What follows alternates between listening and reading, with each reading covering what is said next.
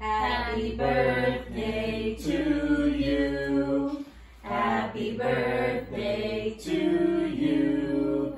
Happy birthday, dear Aleyna. Happy birthday to you. Oh, There's no number, so I can say that. That's a number. It's 11. I think those are Candace's mommy, but okay, thank you. Yeah, I forgot to make a wish, by the way. I'm gonna tell it to everyone so it doesn't come true. What? But we I want wish- it to come true. I wish Capone was here. That's what. That's the wish. Good. Yeah,